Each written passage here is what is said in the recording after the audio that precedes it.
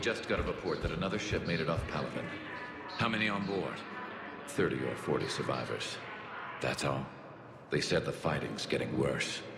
Well, let's find some room for them. This is going to be home for a while.